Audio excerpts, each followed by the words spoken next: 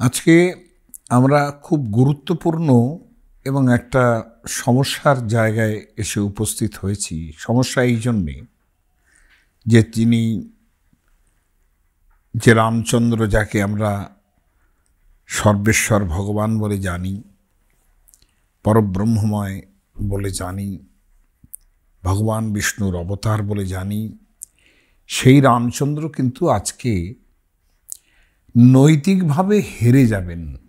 এইটা এটা হচ্ছে সমস্যা এবং সমস্যা আরও যে এই যে জায়গাগুলো, এই জায়গাগুলো ধরেই একদিকে যেমন রামচন্দ্রের মনুষ্য লীলার প্রতিষ্ঠা হয়, কারণ মনুষ্য বলেই তার ভুল হবে মনুষ্যচিত ভুল হবে।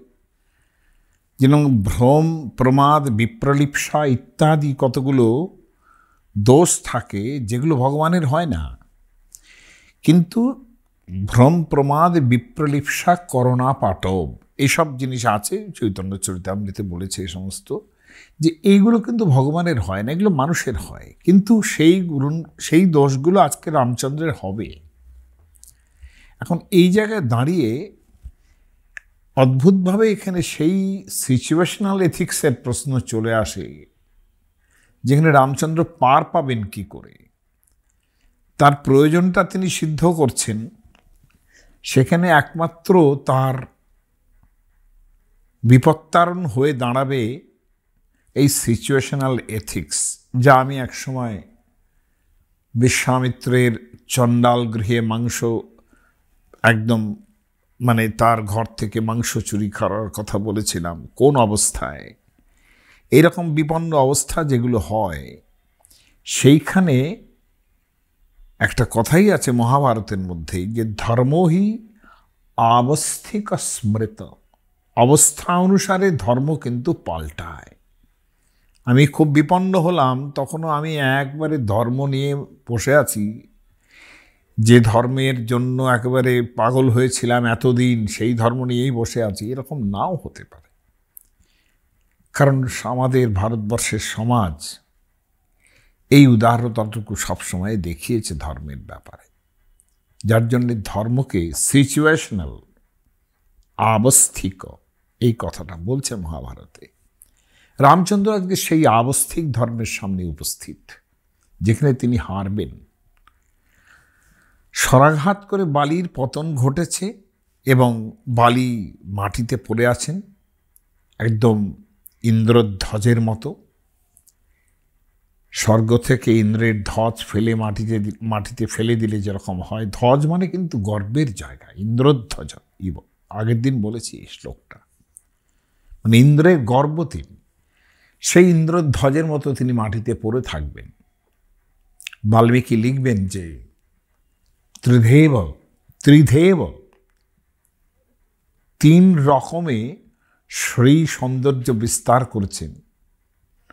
এক তার শরীরে লাগানো যে স্বর, এটা একটা। তারপরে তার যে সুবর্ণ বর্ণ, এটা একটা।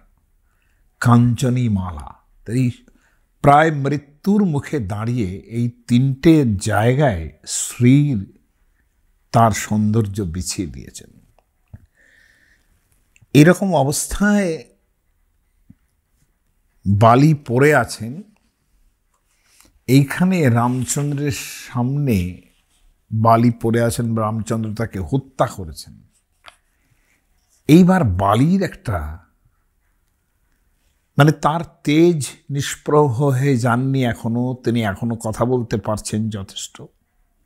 এবং বালি পড়ে যাওয়ার সঙ্গে সঙ্গে রামচন্দ্র এবং লক্ষণ তার কাছে এসে উপস্থিত হচ্ছেন।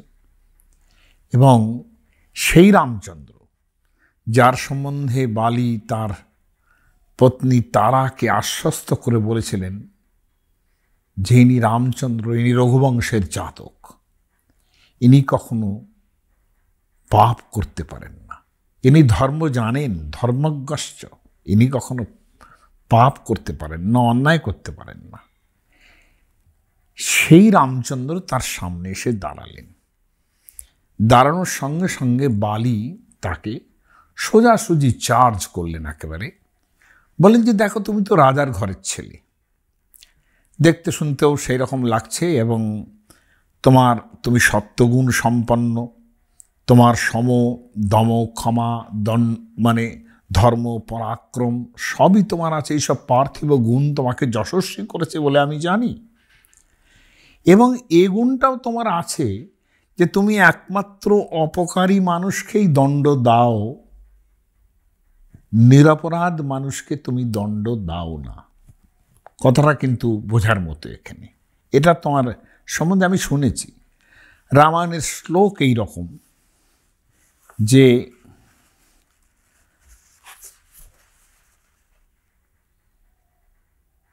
একটাই কথা যে কুলীন তুমি, কুলীনা সত্যসম্পন্ন তেজস্বী চরিতব্রত রাম চ তোমার যথেষ্ট মনে করুণা আছে সবার প্রতি। প্রজাদের হিত করো তুমি, প্রজানাঞ্চ হিতে রত।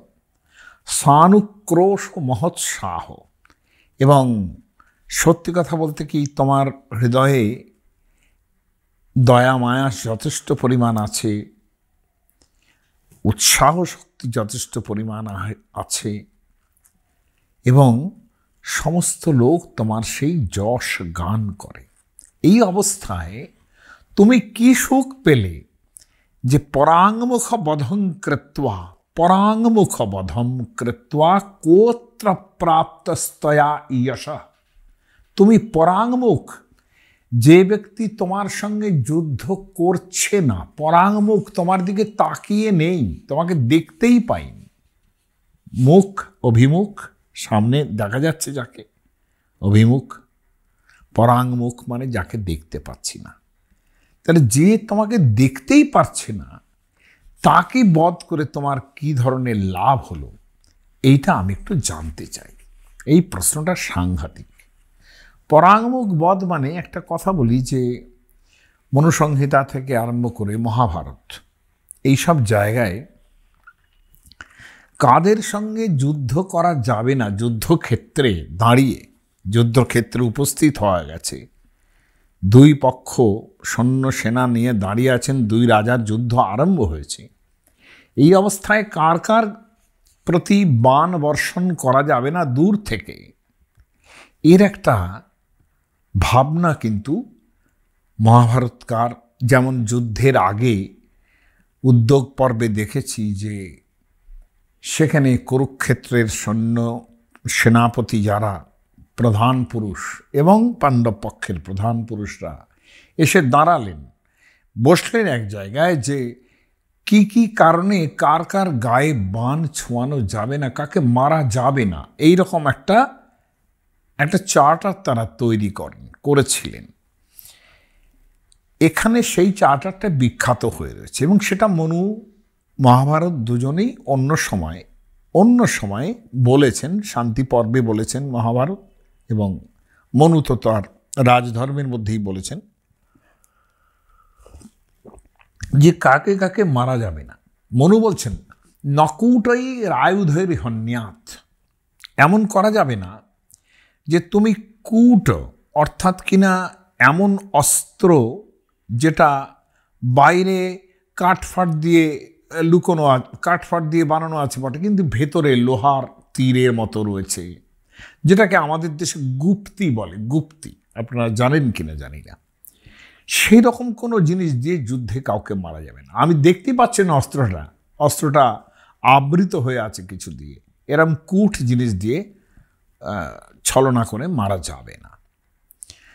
ন কূটৈর আয়ুধৈর হন্যাত, যুদ্ধমানও রণে রিপুন যুদ্ধমান অবস্থায় না কর্ণিভি এমন বান দিয়ে মারা যাবে না, যে বানটা সোজা গিয়ে আবার একটু এই দিকে এবং এই দিকে উঁচু হয়ে গেছে। কেননা সেই বান শরীর থেকে তোলা যায় না, তুলতে গেলে নাড়ি ভুড়ি সব বেরিয়ে আসবে কিংবা অন্য কিছু বেরিয়ে আসবে। নাক কর্নিভি অর্থাৎ যার কান আছে, এরকম একটা উঁচু করা আছে, তীরের ফলায়, সেরকম দিয়ে মারা যাবে না। নদিক ধৈর বিষমিশ্রিত বান দিয়ে মারা যাবে না। নাগনি জলিতা তেজনাই এবং এমন কিছু দিয়ে যেমন আমি বানটা প্রচুর পরিমাণ আগাটা গরম করে তারপরে আমি মারলাম, এরকম করা যাবে না। কিংবা আগুন লাগিয়ে মারলাম, তা করা যাবে না।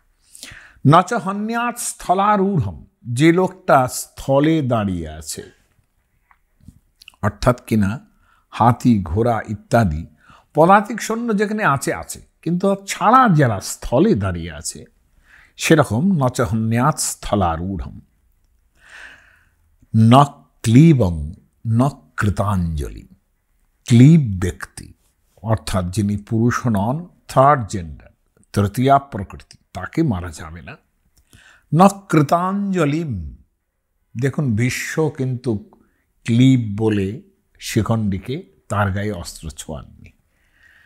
ন কৃতাঞ্জলি যে হাত জোর করে দাঁড়িয়ে পড়েছে, তাকে মারা যাবে না। ন মুক্ত কেশম, তখনকার দিনের কিন্তু পুরুষ মানুষরা চুল বাঁধত এবং চুল বেঁধে যুদ্ধক্ষেত্রে যেতে হলে চুল বেঁধে যেতে হবে। মুক্ত কেশ হয়ে আছে, চুল উড়ু করছে। এই অবস্থায় এই অবস্থায় যে দাঁড়িয়ে আছে তাকে মারা যাবে না। বুঝতে হবে সে যুদ্ধের জন্য তার প্রস্তুতি নেই। নাসীনম যে বসে আছে, তাকে মারা যাবে না। এবং ন তবাস্মিতি বাদিনম। এমন যদি কেউ হাত জোর করে বলে যে, না, আমি আপনারই, আমি, আপনি আমাকে মারবেন না, আমি আপনারই লোক, তাকেও মারা যাবে না। অর্থাৎ সে শরণাগত। না সুপ্তং, না বিষণ্নাহম যে শুয়ে আছে, ঘুমিয়ে পড়েছে, তাকে মারা যাবে না। না বিষণ্নাহম সন্নাহ মানে হচ্ছে বর্ম। যার বর্ম পড়া নেই, লোহার বর্ম পড়া নেই, তাকে মারা যাবে না। ন নগ্নং, ন নিরায়ুধম। নগ্ন অবস্থায় যে আছে, তাকে মারা যাবে না। ন নিরায়ুধম, যার হাতে অস্ত্র নেই, তাকে মারা যাবে না। না যুদ্ধমানং পশ্যন্তম। এই কথাটা হচ্ছে ক্যাচ ওয়ার্ড আমাদের কাছে। ন অযুদ্ধমানম। যে যুদ্ধ করছে না তোমার সঙ্গে, তাকে মারা যাবে না। না যুদ্ধ যুদ্ধমান। পশ্যন্তম। এমনকি যে দেখছে যুদ্ধ, তাকেও মারা যাবে না। ন পরে না সমাগতম। অন্যের সঙ্গে যে যুদ্ধ দেখতে এসেছে, একসঙ্গে এসেছে, তাকেও মারা যাবে না। এখন আর একটা আরও একটা দুটো আছে। নায়ুধ বলছি আমি যেরকম বলেই ফেলি, নায়ুধ বসন প্রাপ্ত অর্থাৎ অস্ত্রশস্ত্র আছে, কিন্তু অস্ত্রটা ভেঙে গেল। আমার বানের ধনুকের ছিলা খসে গেল। গদার দণ্ডটা খসে গেল। নায়ুধ বসন মানে বিপন্নতা। আয়ুধের ক্ষেত্রে যার বিপন্নতা তৈরি হবে, তারা মারা তাকে মারা যাবে না। ন আর্তম, যে আর্ত হয়ে আছে, তাকে মারা যাবে না।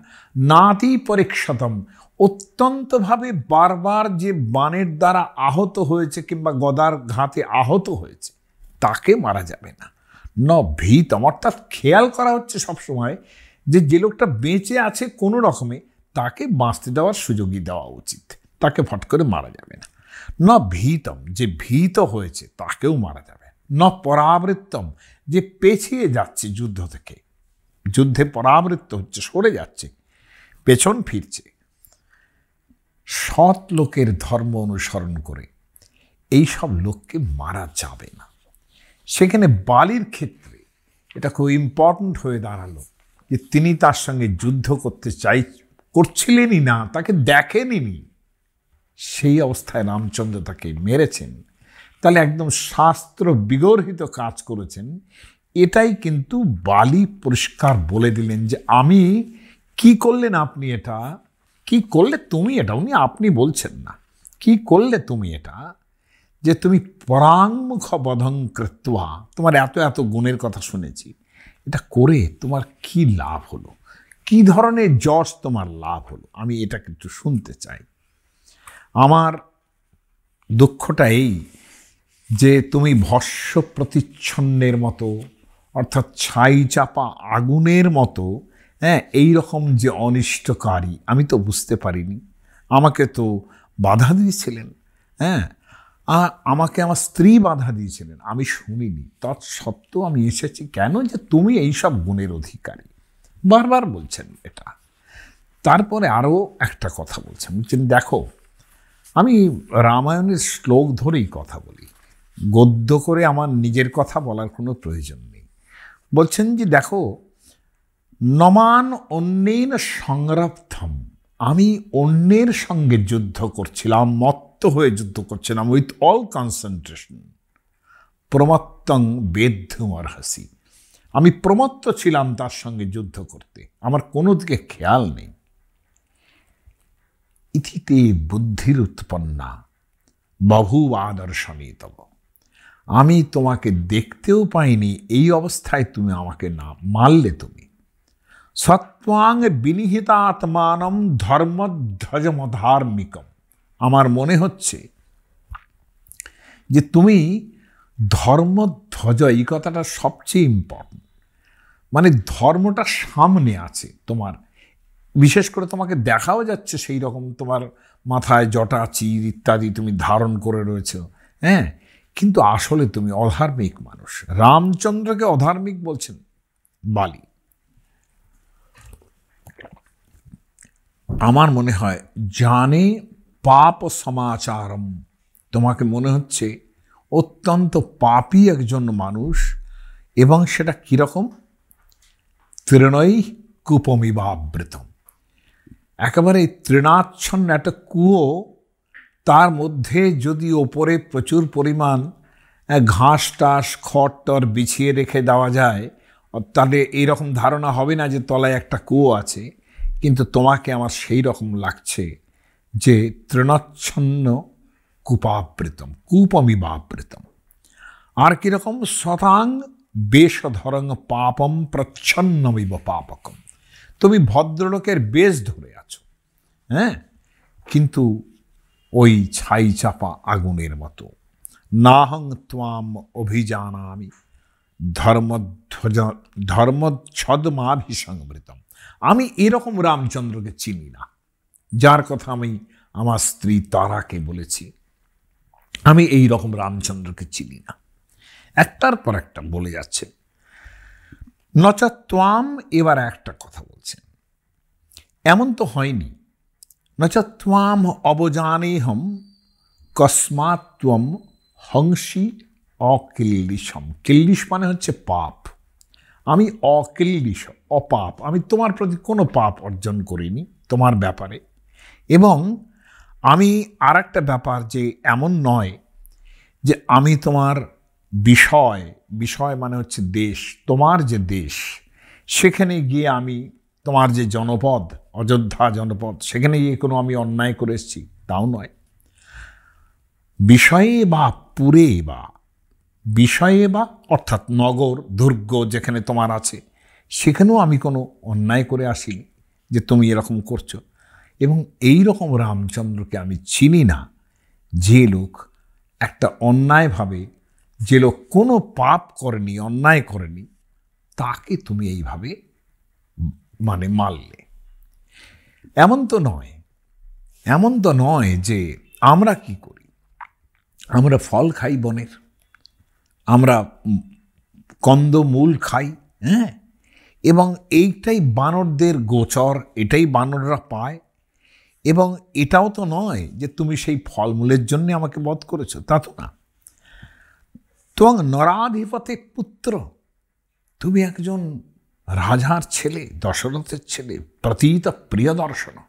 এবং তোমাকে দেখে বেশ বেশ ভালো স্মার্ট এবং সুন্দর লাগে। লিঙ্গমাপ্যস্তিতে রাজন দৃশ্যতে ধর্মসংহিতম লিঙ্গ মানে হচ্ছে চিহ্ন।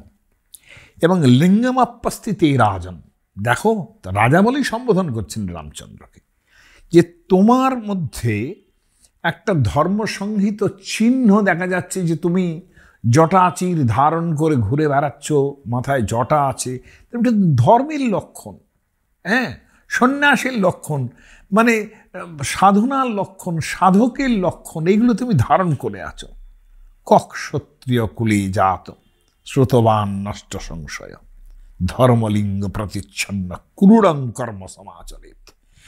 কীরকম ক্ষত্রিয়গুলো জন্মেছ তুমি? এই যে ক্ষত্রিয়ের আচার কাকে কাকে মারা যাবে না সেটা বললাম। কক ক্ষত্রিয় কুলি জাতক কীরকম ক্ষত্রিয় কুলি তুমি? তুমি কে যে তুমি ক্ষত্রিয় কুলে জন্মগ্রহণ করেছ? শ্রুতবান, নষ্ট সংশয়। তুমি এরকম ক্ষত্রিয় কুলে জাত হয়েছ। আমি জানি তুমি রঘুবংশের জাত সেই রোগ ধর্মলিঙ্গ প্রতিচ্ছন্ন বারবার ওই এক কথা বলছেন যে ধার্মিকের বেশটা ধারণ করে আছে তুমি।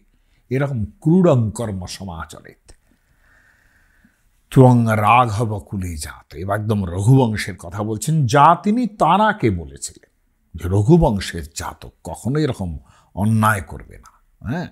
যে কালিদাস রঘুবংশের প্রথমেই আরম্ভে রঘুদের কত কত ভালো কথা বলেছেন রঘুদের সম্বন্ধে, সেই কথা বলে উচ্চারণ করছেন তুং রাঘব কুলে জাত তুমি রঘুবংশে জন্মেছ ধর্মবান ইতি বিশ্রুত অভব্য অভব্য ভব্য রূপে ন কিমর্থং পরিধাবসে। তুমি অভব্য লোক, কিন্তু ভব্যের বেশ ধব্য বেশে আছো। এরকম ভব্যের বেশ ধারণ করে ঘুরে বেড়াচ্ছ, এটা আমি ধারণাও করতে পারছি না। আর একটা কথা বলি। বালির কোনো কথা উত্তরই দিতে পারছেন না রামচন্দ্র। বালি কিন্তু নাগাড়ে বলে যাচ্ছেন, কোনো কথা শুনছেন না তিনি। শোনার মানে রামচন্দ্র জবাব দিতে পারছেন না তো শুনবেন কি? বলতে তো পারতেন, থামিয়ে বলতে পারতেন রামচন্দ্র, বলতে পারছেন না।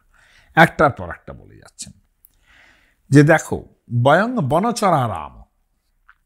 আমরা তো বনচর, বনে বনে ঘুরে বেড়াই। মৃগা, মৃগ ধাতু মানে খোঁজা। মৃগ মানে হচ্ছে যারা যে জিনিসকে খুঁজতে হয়। অর্থাৎ কিনা বনের হরিণ থেকে আরম্ভ করে অন্যান্য পশুদেরও কিন্তু মৃগ বলা হয়। মৃগ মানে কিন্তু পশু, শুধুমাত্র হরিণ নয়। বয়ং বনচরা আরাম আমরা বনচর এবং আমরা মৃগ, আমরা পশু। অন্তত পশু বলে তোমরা মনে করো, এইটাই। মূল ফলাসীন আমরা কি? মৃগা মূল ফলাসীন আমরা কন্দমূল খাই, ফল খাই। হুম। এসা প্রকৃতির অস্মাকম আমাদের এটাই প্রকৃতি, কিন্তু পুরুষস্ত্বং নরেশ্বর। আর তুমি তো রাজপুরুষ, তাই না? তা আমি জিজ্ঞাসা করছি, কৌটিল্যের অর্থশাস্ত্রে যেরকম আছে সেই রকম একটা প্রশ্ন করছেন এবার। সেই রকম একটা প্রশ্ন এবার। বালি বলছেন, দেখো, ভূমির হিরণ্যম রূপঞ্চ নিগ্রহে কারণানিচ। একজন রাজার সঙ্গে যখন বিবাদ হয় আরেকজনের, কৌটিল্য এগুলো খুব বিশালভাবে দেখিয়েছেন তার অর্থশাস্ত্রে যে কি কারণে রাজাদের সঙ্গে রাজার রাজায় যুদ্ধ হয়। তার একটা বড় কারণ হচ্ছে, রাজা সবসময় চেষ্টা করেন অপরের রাজ্য আগ্রাসন করতে। তখনকার দিনে তাই ছিল। এই এখনকার গ্লোবাল ডেমোক্রেসির মতো নয় যে বিভিন্ন জায়গায় যারা আছেন, তারা সেই রকমই আছেন। তখন একজন রাজা একজনের রাজ্য অধিগ্রহণ করার চেষ্টা করতো সবসময়। যার জন্য যুদ্ধবিগ্রহ সবসময় লেগেই থাকতো। যার জন্য কৌটিল্য একটা রাজমণ্ডল বলে জিনিস তৈরি করেছেন, যেখানে অদ্ভুত একটা জিনিস আছে। ধরা যাক, তিনি একটা কাল্পনিকভাবে রাজমণ্ডল তৈরি করেছে এবং সেটা এখনও বেশ খাটে। উনি বলেছেন যে, দেখো যে যেখানে আমি বিজিগিসু মানে আমি আমার রাজ্য তৈরি করেছি বিজিগিসু বলে তাকে। মানে যে রাজা নিজের প্রথম আরম্ভ করেছে, রাজ্য চালনা আরম্ভ করেছে, তিনি বিজিগিসু মানে সবসময় জয় করতে চান। জিগিসা মানে জয় করতে চাওয়া। তাই যে বিজিগিসু রাজা, তার যে রাজমণ্ডলটা কীরম হয়? পরের জন যে রাজ্যটা আমার আছে, সেই রাজ্যের পাশেরটা অবধারিতভাবে শত্রু রাজ্য হবে। কৌটিল্যের বক্তব্য। আবার তারপরেরটা মিত্র রাজ্য। কেন? বর্ডারিং এরিয়ার সঙ্গে আমারও যোগ আছে, আবার এই পরের রাজ্যটারও যোগ আছে। যত গণ্ডগোল কিন্তু বর্ডার নিয়ে। দেখবেন আমাদের সাধারণ মানুষের মধ্যে গ্রামে গঞ্জে যান, কিংবা কলকাতাতেই থাকুন না। চার ইঞ্চি জমি নিয়ে কোর্টে মামলা হয়ে যাবে। এই চার ইঞ্চি জমি আমার, এটা প্রাচীর পড়ে গেছে। প্রাচীরের মধ্যে ওই চার ইঞ্চি রয়েছে। আপনি প্রাচীর ছেড়ে ইঞ্চি দিন। এই ব্যাপারগুলো তাই না? সেখানে রাজা যখন রাজ্য করেন, কৌটিল্য বলছেন যে, যেরকম আমার ঠিক পরের রাজ্য হবে অরি তারপরেরটা হবে মিত্র রাজ্য। অরি মিত্র। হ্যাঁ আমার যেটা এই যে পরেরটা, তার পরেরটা আবার অরি তারপরেরটা আবার মিত্র। এরকম অরিমিত্র মিত্র এরকম জায়গায় আসবে। এরকম করে একটা রাজমণ্ডল সামনে, পেছনে এবং ডান পাশে, বাঁ পাশে রাজমণ্ডল। কৌটিল্য কল্পনা অনেক বিশদ ব্যাপার তার মধ্যে যাচ্ছে। কিন্তু কেন তারা যুদ্ধ করেন? সেইখানে বলা হচ্ছে, কৌটিল্য নিজেই লিখছেন, কৌটিল্যের অর্থশাস্ত্র কিন্তু যতখানি না পলিটিক্যাল সায়েন্স তার থেকে অনেক বেশি হচ্ছে ইকোনমিক্স তা তিনি বোধহয় চতুর্থ খ্রিস্টপূর্ব শতাব্দীতে বুঝেছিলেন যে একটা রাষ্ট্রের পলিটিক্যাল ইমেজের থেকেও অনেক বেশি দরকার হচ্ছে ইকোনমিক ইমেজ, অর্থাৎ অর্থ। তিনি বলছেন, অর্থ কাকে বলে? অর্থ মনুষ্যবতী ভূমি। অর্থাৎ অর্থ মানেই হচ্ছে মনুষ্যবতী ভূমি। A geographical area a definite geographical area with population তাহলে এইটা হচ্ছে কৌটিল্যের সভারেন্টির ধারণা। হ্যাঁ যে একটা জিওগ্রাফিক্যাল এরিয়া উইথ পপুলেশন থাকবে। এখন সেইটা এত ইম্পর্ট্যান্ট তার কাছে, তিনি একটা জায়গায় আলোচনা করে বলছেন যে আচ্ছা আমার যদি এলাইজ মানে আমার যারা এলাই থাকবে, তারাই বেশি ইম্পর্ট্যান্ট না তোমার রাজকোষ বেশি ইম্পর্ট্যান্ট না তোমার সেনা সম্পত্তি বেশি ইম্পর্ট্যান্ট না ভূমি বেশি ইম্পর্ট্যান্ট মানে জমি জায়গা। রাজ্যের মধ্যে তো জমি জায়গায় সব প্রধান। ভূমির হিরণ্যম রূপঞ্চ। বালি কিন্তু রামচন্দ্রকে দু জায়গায় ঠোকা দিচ্ছেন। ভূমির হিরণ্যং রূপ্যঞ্চ হিরণ্য আর রূপ্য, সোনা রূপ। এটা একটা একটা ক্যাটেগরিতেই বলা চলে। আর বলছেন ভূমি, অর্থাৎ জমি। বলে এই দুটো জন্যেই কিন্তু রাজারা যুদ্ধ করে। কৌটিল্যের অর্থশাস্ত্র কি বলছে? মিত্র হিরণ্য ভূমি লাভানাম। মিত্র অর্থাৎ অ্যালাইজ। তুমি অ্যালাইজকে বেশি প্রাধান্য দেবে? না সোনাদানাকে বেশি প্রাধান্য দেবে? না ভূমিকে বেশি প্রাধান্য দেবে?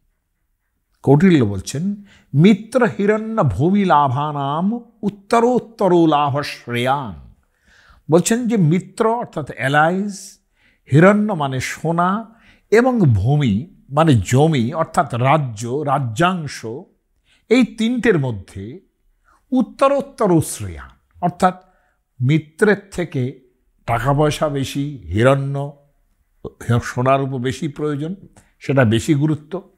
আবার হিরণ্য রূপ সোনার উপর থেকে বেশি গুরুত্ব হচ্ছে ভূমির, অর্থাৎ ল্যান্ড উত্তর উত্তর শ্রেয়ান মিত্র হিরণ্যেহি কৌটিল্য কারণ বলছেন মিত্র হিরণ্যেহি ভূমিলাবাদ ভবত বলে রাজার যদি ল্যান্ড গেইন হয় তাহলে অ্যালাইজরা আপনি আসবে তার কাছে হ্যাঁ এবং টাকা পয়সা সোনার উপও তার এমনি আসবে তার কাছে ফলে এইখানে ইম্পর্ট্যান্ট হচ্ছে ল্যান্ড এইটা হচ্ছে কৌটিল্যের বক্তব্য। ঠিক সেই জায়গাটাতেই বালি বলছেন যে হ্যাঁ রাজাদের মধ্যে যে যুদ্ধ হয়, সেখানে ভূমির হিরণ্যম রূপঞ্চ নিগ্রহে কারণ আনিছেন রাজাদের সঙ্গে রাজা যদি আরেকজনকে দাবিয়ে দিতে চান, সেখানে ভূমি এবং হিরণ্য ঠিক কৌটিল্য যা বলছেন তাই। হ্যাঁ যে ভূমি এবং হিরণ্য, এইটা তাদের দরকার হয়। এইটা তাদের, এইটার জন্যই তারা যুদ্ধ করে। তত্র কস্তে বনে লোভ। আমরা তো বনবাসী, বনে থাকি। এই বনের উপর তোমার লোভ কিসের? অথবা তোমার কি মদিয়েশু, ফলেশু বা? আমাদের ফলটল খাচ্ছি, তাতে লোভ আছে নাকি তোমার? একটা পিঞ্চ করছেন পুরোপুরি হ্যাঁ? তাতে লোভ আছে। বলে বলছেন, রাজাদের মধ্যে সবসময় একটা পলিসি এবং ইমপলিসি কাজ করে। কাক সঙ্গে তিনি সন্ধি করবেন, কার সঙ্গে তিনি বিবাদ করবেন? এই পলিসি অ্যান্ড ইমপলিসি সন্ধি বিগ্রহ, যান, আসন, দৈদীভাব, কার বিরুদ্ধে যুদ্ধযাত্রা করবেন? এই যে ষাটগুণ্য কৌটিল্যের ভাষায়, এইখানে তিনি বলছেন নয়শ্চ বিনয়শ্চৈব। নয় অর্থাৎ policy making our policy this is important for a king আর কি? বিনয় বিনয় মানে ইন্দ্রিয় দমন, তার শিক্ষা। ইন্দ্রিয় দমনের শিক্ষা নিয়ে প্রচুর, ইন্দ্রিয় দমন মানে আপনি ভাববেন না যে পঞ্চেন্দ্রিয় দমন করলাম আর সাধু হয়ে গেলাম, এটা নয়। রাজাদের পক্ষে বলা হচ্ছে ইন্দ্রিয় দমন মানে তার অনেক রকমের ব্যাপার আছে, আমি অত ডিটেলসে গেলে আমার আর কিছুই শেষ হবে না। ফলত এই যে বিনয়, বিনয়টা এমন ইন্দ্রিয় দমনের শিক্ষা, এটা খুব ব্রড অর্থে বলছি। লোভ আর কি, সেটা খানিকটা জয় করার ব্যাপার। যা দেখবেন, যার জন্য দেখবেন যে বুদ্ধের একটা গ্রন্থের নামই বিনয় পিটক। বিনয় পিটক বলি আমরা। কাজে এই বিনয়টা খুব, বিনয়তি ইন্দ্রিয়ান। এই ইন্দ্রিয়কে নিগ্রহ করার যে শিক্ষা, এটা এটা তো রাজবৃত্তি সমাকীর্ণা রাজাদের মধ্যে এটা থাকতে হয়। নন রিপা কামবৃত্তয়। নিপরা রাজারা যা ইচ্ছে তাই করবেন, তা হতে পারে না। যেখানে আমি একটা একটা করেই তো বলছি যে পরাং, একটা হচ্ছে পরাং মুখবধ। তুমি যে সময়ের সঙ্গে যুদ্ধ করছ না তার সঙ্গে যুদ্ধ করছ। এবং তোমার একটা রাজযোগ্য গুণ আছে, তা তুমি নষ্ট করছ। আমি অন্যের সঙ্গে যুদ্ধ করছিলাম, তুমি আমাকে না দেখে, না, আমাকে আমাকে দেখতেই পেলাম না, আমি তোমাকে মারলে তুমি। আমি তোমার রাজ্যে গিয়ে কোনো ক্ষতি করে আসিনি, তোমার নগরে, জনপদে কোনো ক্ষতি করে আসিনি। তাহলে কেন? আমরা ফল মূল খেয়ে থাকি। তোমরা এত শক্তিমান পুরুষ, তোমরা আমাকে মারছ কেন? আমরা বনচর। ভূমি, হিরণ্য ইত্যাদি, এগুলো তো আমি বললাম। আর কি? তুমি কামপ্রধান। রাজা হওয়া সত্ত্বেও তোমার কোনো বিনয় নেই এবং কোপন স্বভাব, না হলে আমাকে তুমি মারবে কেন? আর একটা যে হত্বা বাণীন কাকুৎস্থ, মান ইহ অনপরাধীনম মাম ইহা অনপরাধীনম এইটা আর কি। আমি, তুমি তাকে বান আমি অপরাধ কোনো কিচ্ছু করিনি, অথচ তুমি আমাকে বানাঘাত করলে। একটু ঘুষি টুসি কিলচার করতে তাও আমি বুঝতাম। একদম বানাঘাতে আমাকে মেরেই ফেললে। কিং বক্ষসী শতাং মধ্যে। ভদ্র কিন্তু সৎ মানে কিন্তু সৎ নয়। ভদ্রলোকের মধ্যে তুমি কি করবে? এই রকম কর্ম করেছ তুমি কর্মকৃত্বা যুগুপসিতম। এরকম অন্যায় ঘৃণিত কাজ করে তুমি ভদ্রলোকের মধ্যে কি বলবে? আর একটা কথা বলছি, তুমি রাজা বলছো তো, নিজেকে রাজা ভাবছ বালি বোঝাতে চাইছেন, আমিও তো রাজা, আমিও তো রাজধর্ম জানি। কিন্তু তোমার যে কাজটা তুমি করেছ, এটা একজন রাজা হয়ে যদি অন্যায়ভাবে একজন রাজাকে হত্যা করে ব্রহ্ম হত্যা করে, একজন গরুকে যে মারে, যে চোর এবং যে নাস্তিক, পরিবেত্তা এইসব নানান রকম। পরিবেত্তা মানে হচ্ছে যে সেই বড় ভাইয়ের বিয়ের আগে মানে নানান রকম স্মৃতিশাস্ত্রীয় সংস্কারগুলো কিন্তু তিনি বললেন। বললেন যে এরা সব নরকে যায়, তুমি সেই কাজটা করেছ। শেষ কথাটা মালি বলছেন, অধার্য চর্মমে যাচ্চা, আমি বানর বলে কথা আমাদের যে চামড়া হয়, বানরের চামড়া কোনো কাজে লাগে না। গরুর চামড়াও কাজে লাগে, কিন্তু বানরের চামড়া কাজে লাগে না। এবং রোমান নস্থিচ বর্জিত। আমাদের যে রোম, অর্থাৎ গায়ে যদি লোম থাকে, সেই বানরের লোম দিয়েও কোনো কাজ হয় না। হ্যাঁ? যা ভেড়ার লোম দিয়ে হয়, কিংবা অন্যান্য ইয়ে হয় এবং অস্থি আমার হাড় দিয়েও কোনো তোমার লাভ হবে না। আর একটা কি? অভক্ষ্যানি চ মাংসানি তদ্বিধই ধর্মচারীভি। তুমি ধর্মাচরণ করতে এসেছ। মনে মনে ঘুরে বেড়াচ্ছ না হয়। ধর্মের সংজ্ঞা তোমার মধ্যে আছে। চেহারাটা ধার্মিকের মতো। ধরা যাক তুমি মাংস খাও ক্ষত্রিয় বলে। কিন্তু যে মাংস খাও, সেটা হরিণের মাংস হতে পারে সুরের মাংস হতে পারে। হ্যাঁ এগুলো রামচন্দ্র খেতেনি কারণ এই রামায়ণের মধ্যেই বর্ণনা আছে যে, আজই চাবিক বারা হই। অজ অর্থাৎ ভেড়ার মাংস। হ্যাঁ আবিক মানে সরি অজই মানে ছাগলের মাংস, আবিক মানে ভেড়ার মাংস, বারা হই মানে বরাহের মাংস। তাহলে এগুলো খাওয়া এই আমাদের ক্ষত্রিয় শাস্ত্রীয়, ক্ষত্রিয়দের কোনো শাস্ত্রীয় বারণ ছিল না এগুলোতে কিন্তু আমাদের মাংস, বানরের মাংস খাচ্ছি, এ তো কোথাও নেই। তাই না? অভক্ষ্যা আনিচ মাংস মাংসানি তদবিধই ধর্মচারভি। মাংস কীরকম কীরকম খাওয়া যায়, তার একটা নমুনা আছে।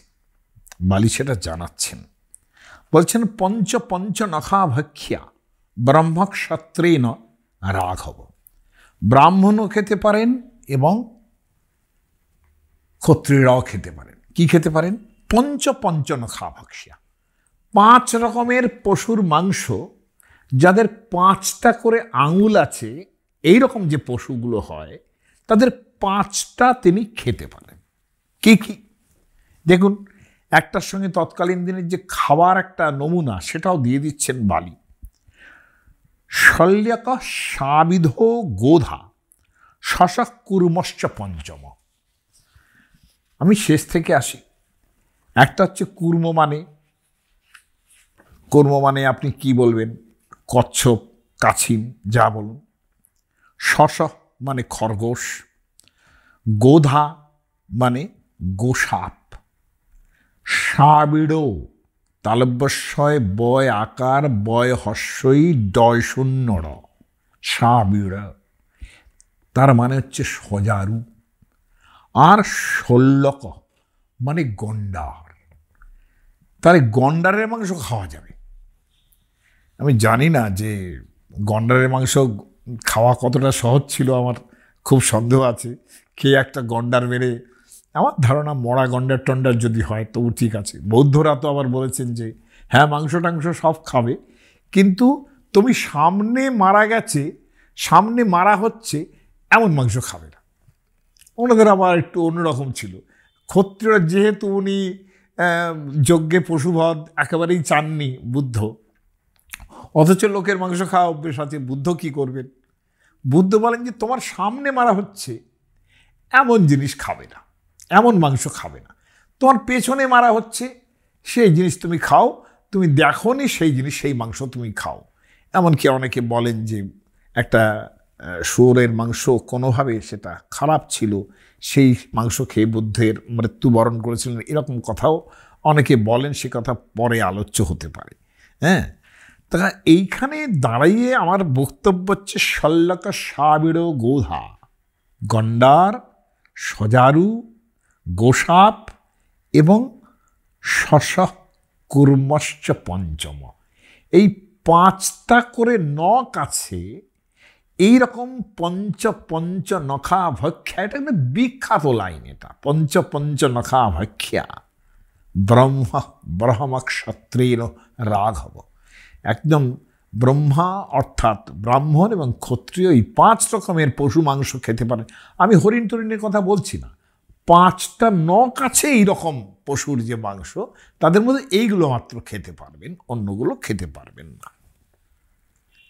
তুমি কি করলে? তুমি বানরকে বধ করলে। আমি মৃগ, আমি পশু, আমি বানর স্বীকার করলাম। কিন্তু আমার এই যে পঞ্চনখও বটে আমি, কিন্তু পঞ্চনখ পশুর মধ্যে আমার মাংস তোমার খাওয়া বাড়ুন।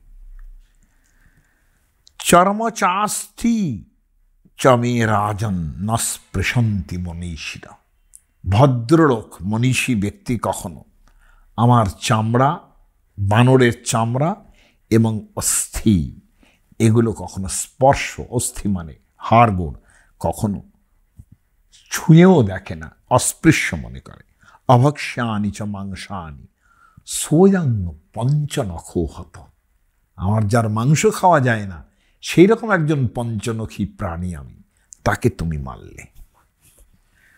এবার লাস্ট প্রপোজিশন বলছেন। তুমি তোমার স্ত্রীর কথা বলছো। তুমি বলেছ যে, তুমি মনে মনে ভাবছ যে আমাকে তারা বলেছিলেন যে সুগ্রীব একটা তার শ্রেণি খবর পেয়েছেন বিভিন্ন গুপ্তচরের কাছে যে সুগ্রীব রুমাকে উদ্ধার করার জন্যে তোমার সঙ্গে হাত মিলিয়েছে। এটা আমি শুনেছি। তো সেটা আমি জিজ্ঞাসা করছি, সীতাকে যদি উদ্ধার করার ব্যাপার হতো, তুমি আমাকে বলতে পারতে? মৈথিলিম অহম একান্হা আমার একদিন লাগতো। এর আগে রামচন্দ্রকে বালি এটা বলেছেন যে, তুমি তোমার নিজের স্ত্রীকে এখনও লাভ করতে পারোনি। তো সেই তো তোমার সবচেয়ে বড় শত্রু ছিল রাবণ। এখন তুমি তাকে কিছুই করতে পারোনি। অথচ তুমি আমাকে মেরে ফেললে, যে নাকি মৈথিলী বৈদেহী সীতাকে অহম একান্হা একদিনে মাত্র আমি তোমার কাছে এনে দিতাম। তব চানিতবান ভবে, আমি তোমার কাছে আনা হয়ে যেত আমার। রাক্ষসঞ্চ দুরাত্মানম এবং যে রাক্ষস রাবণ তোমার ভার্যাকে হরণ করেছে, সেই তাকে আমি এনে গলায় বেঁধে এনে তোমার কাছে ক্ষমা চাওয়াতাম এবং তব ভার্যাপ হারিনম তাকে আমি এই এই এই এই করতাম বলে রামচন্দ্রকে একেবারে প্রায় তর্কে শুইয়ে দিলেন। আমি আমি এইটা ডিটেলস আর যাচ্ছি না। বলছেন যে কণ্ঠে বদ্ধা প্রদাত দেহম। আমি তাকে গলায় ফাঁস বেঁধে নিয়ে আসতাম এবং অনিহত অবস্থায় মারতাম না তাকে।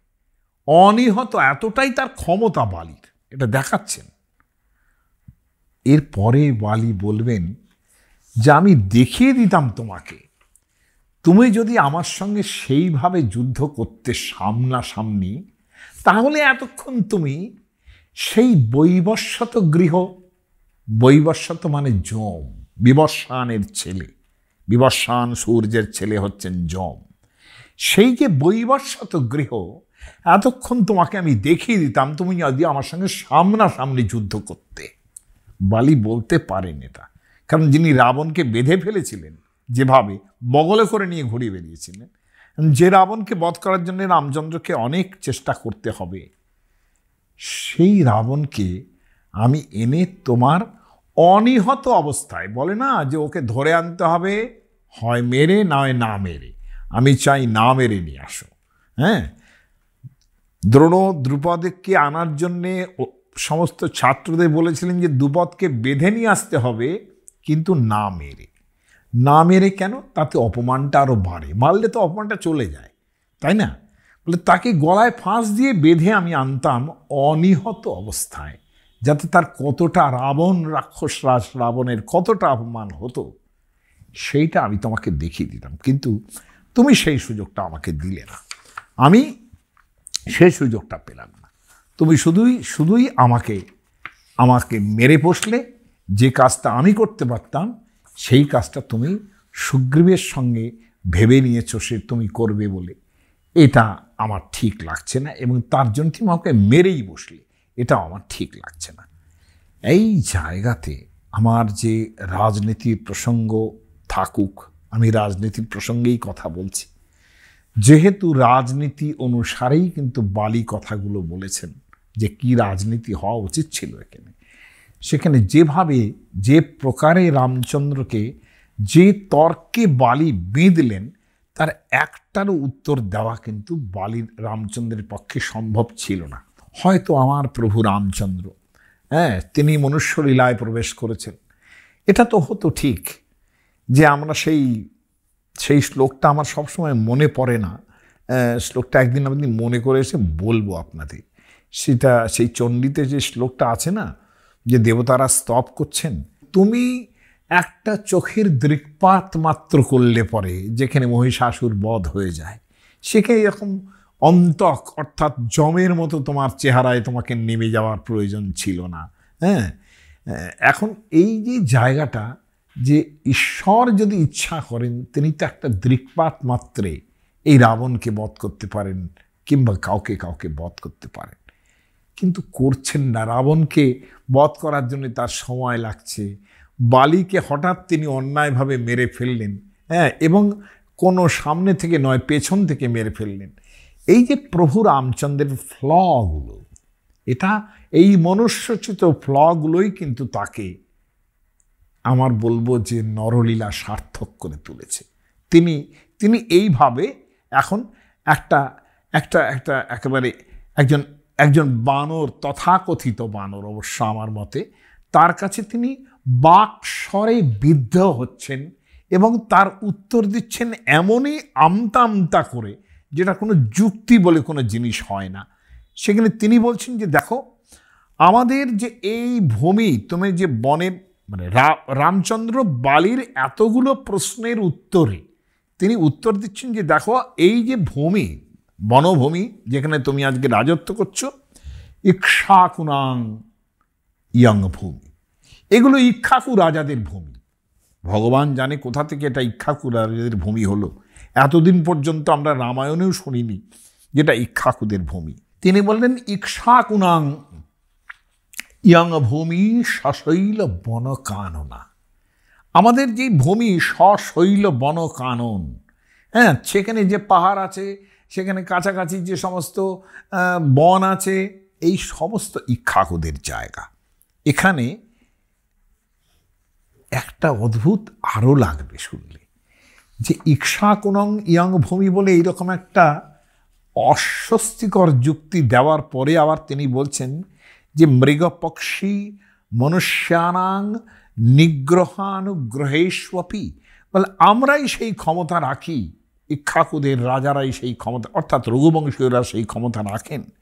যে মৃগ পক্ষী মনুষ্যানাম এখানে যে সমস্ত পশু পাখি আছে, মানুষ আছে, তাদের কখন নিগ্রহ করব, তাদের কখন অনুগ্রহ করব, এটা আমাদের ওপর নির্ভর করে, রাজাদের ওপর নির্ভর করে।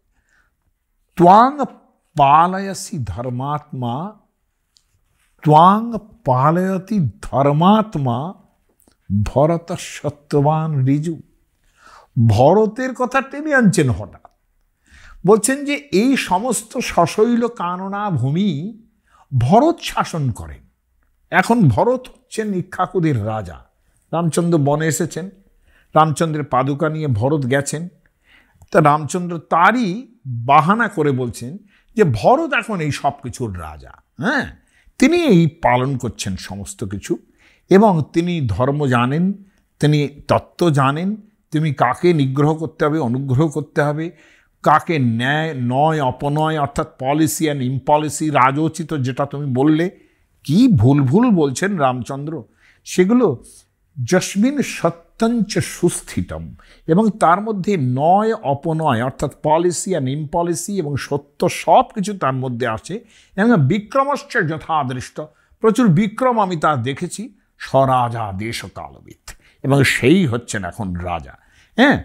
তস্য ধর্মকৃতা দেশা বয়মন্যে পার্থিবা চরাম বসুধাং কৃষ্ণাং ধর্ম সন্তান বিচ্ছব আমি তারই ধর্ম প্রচার করার জন্যে আজকে যে অন্যায় হয়েছে এখানে হ্যাঁ সেই ধর্ম প্রচার করার জন্যই তোমাকে আমি মেরেছি। এটা মানে সৈয়দ মুস্তাব আলী থাকলে পরে তো বলতেন যে এটা শুনলে ঢাকার গোড়ায়ও হাসবো। অর্থাৎ ঢাকার ঘোড়ারাও হাসবে। এইরকম অবস্থা হয়ে গেছে। এই এই যে রামচন্দ্র যুক্তি দিচ্ছেন যে তিনি ভরতের আদেশেই এসব করছেন, ভরতের ভাবনা মতেই এসব করছেন। ভরত রামচন্দ্রের পাদুকাটি মাথায় নিয়ে কবে বলে গেছিলেন মাথার দিব্যি দিয়ে? হ্যাঁ যে প্রভু রামচন্দ্র, ওখানে সব বানররা আছে, তাদের শাসন টাসন করবে, তুমি আমার আদেশ রইল। আমি তো এরকম আদেশ রামচন্দ্রের প্রতি আগে শুনিনি। রামচন্দ্র উদ্ভাবিত করছেন। আমি বললাম কি? প্রথমে বলেছিলাম this is call situational ethics Ramchandra একটা বেশ অযুক্তি কুযুক্তির মাধ্যমে একটা সিচুয়েশনাল এথিক্স তৈরি করছেন। অবস্থা বুঝে নিজের একটা এথিক্যাল কন্ডিশন তৈরি করছেন যে আমিও কোনো অন্যায় কিছু করিনি, আমিও ন্যায়ই করেছি। এই যে কথাটা, এটা একটু সিচুয়েশনালি স্থাপিত হয়ে যাচ্ছে। এখন এইখানে দাঁড়িয়ে আমাদের কিন্তু বিচার করতে হবে। যে রামচন্দ্র কি ঠিক সেইটা করছেন যা ভরত বলেছেন, ভরত একবারও বলেননি। কিন্তু এটা আমাদের মানতে হবে যে রামচন্দ্র কিন্তু হেরে যাচ্ছেন। আমি বলব যে হ্যাঁ হেরে যাচ্ছেন, তাতে কোনো আমার আমার কিছু খারাপ লাগছে না। হ্যাঁ এইরকম একটা হত্যা হয়েছে, অন্যায় হয়েছে, সব কিছু। কিন্তু এটা আমার প্রভু রামচন্দ্রের বিলাস। আমি একটা একটা সত্য, একটা ছোট্ট কথা বলি এখানে। আমাদের তুলসীদাসের কথা শুনেছেন তো? তুলসীদাস গোস্বামী। অত্যন্ত এমন বড় কবি হয় না পৃথিবীতে। খুব কম হয়। তিনি তার প্রভু রামচন্দ্রের এই যে বিমাননা হবে বালির হাতে, এটা তিনি সহ্যই করতে পারতেন না। যার জন্য তিনি কি লিখেছেন? একটু শুনুন, শোনাই। এটা একটু আমাদের, আপনার মজা লাগবে। হ্যাঁ? যে ইন কন্ট্রাস্ট একটা কথা বলে রাখি। মহা, মহাকাব্যের কবি বাল্মীকি এখন কিন্তু বালির পাশে দাঁড়িয়ে গেছেন। মহাকাব্যের কবি কবি কখনো এরকমভাবে কাজ করে না যে আমি এখন বালির পাশে দাঁড়িয়ে আছি। কিন্তু রামচন্দ্রকে এই এতগুলো কথা যে শোনালেন বালি, এতগুলো যুক্তি দিলেন বালি এবং সেই যুক্তির, প্রতিযুক্তিতে রামচন্দ্র এমন একটা ছেদো যুক্তি দিলেন যে ভরতের আদেশেই, ভরত যেভাবে বলছে, যেভাবে রাজ্য চালাচ্ছে, আমরা সেইভাবে চলছি। এটা বলার মধ্যে ভরতাজ্ঞাং পুরস্কৃত্য চিন্তয়াম ও যথাবিধি। ভরতের আজ্ঞা স্মরণ করেই কিন্তু আমরা সব, এই সব করছি টরছি এইটা, এই ছেদ যুক্তিটা কিন্তু বাল্মীকির রামায়ণে, বাল্মীকির জবানে, অর্থাৎ রামচন্দ্রের জবানে বেরোচ্ছে মানেই মহাকাব্যের কবি কিন্তু এই মুহূর্তে বালির পাশে দাঁড়িয়ে আছেন। যেরকম আবার তাকে পাশে দেখতে পাব মহাকাব্যের কবিকে, যিনি সমালোচনা ওইভাবে করেন না। সমালোচনা এইভাবে করেন যে একটা যুক্তিপূর্ণ কথার বিরুদ্ধে যখন তার নায়ককে অযৌক্তিক যুক্তি দিতে হচ্ছে তখনই বোঝা যায় তিনি কোন পক্ষে দাঁড়িয়ে আছেন এবং এইভাবেই তিনি আবার পাশে দাঁড়াবেন আমার প্রভু রামচন্দ্রে নয়। দাঁড়াবেন সীতার পাশে যখন সীতা পরিত্যাগ হবে। পরের দিনের এপিসোডে হয়তো সেটা বলব।